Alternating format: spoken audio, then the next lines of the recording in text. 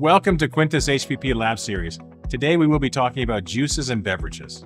High pressure processing is revolutionizing the juice and beverage industries where heat-based pasteurization falls short. With heat treatment, nutritional values are partially destroyed and degraded and flavors and colors are affected.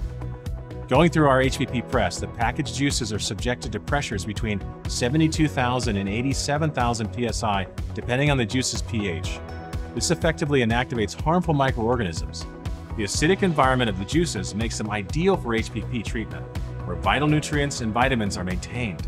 It also extends the shelf life of fruit juices greater than 10 times, allowing our customers to reach broader markets without compromising quality. HPP juice meets the stringent regulations imposed by the FDA and other regulatory bodies on pathogen reduction. This applies to not only juices, but also smoothies, health shots, and other beverages.